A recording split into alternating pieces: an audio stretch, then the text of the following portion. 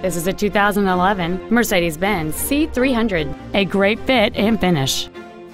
It features a 3.0-liter six-cylinder engine, an automatic transmission, and all-wheel drive.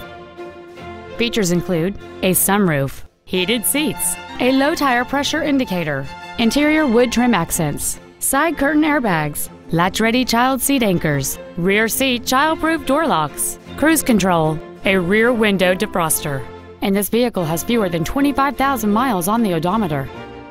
We invite you to contact us today to learn more about this vehicle.